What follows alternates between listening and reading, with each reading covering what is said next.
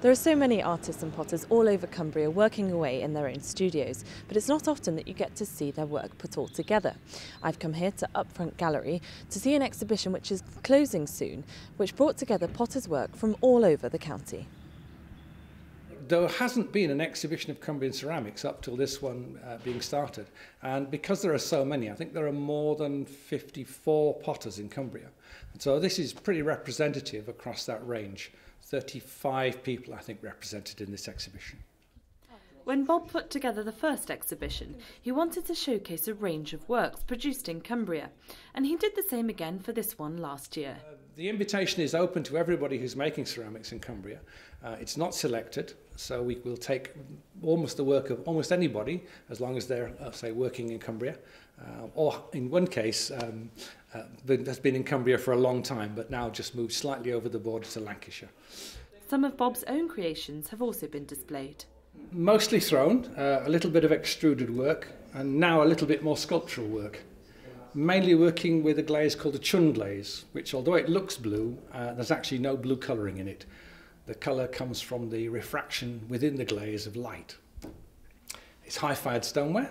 Um, it's what I've been doing for the last 53 uh, years. So um, been doing it for a long time. And what is it that you like about pottery making these things? I don't know, it's just uh, brilliant to be able to take a lump of clay and produce something that people enjoy, people can use. Um, yeah, it, it just has been a great, great life, if you like. Upfront Gallery, which is celebrating 20 years this year, is passionate about supporting local artists, as the director explained. I think it's very important to have a cultural identity for local people and local creators and artists. I think too much now the world's getting mixed up by having things exported, moved, travelled, toured to other places. If we're going to maintain a sense of local identity, we should promote that which is local first, surely. And then when it's really good, promote it elsewhere so people can see how good we are. And what do you think about the arts and what's going on in the arts in Cumbria?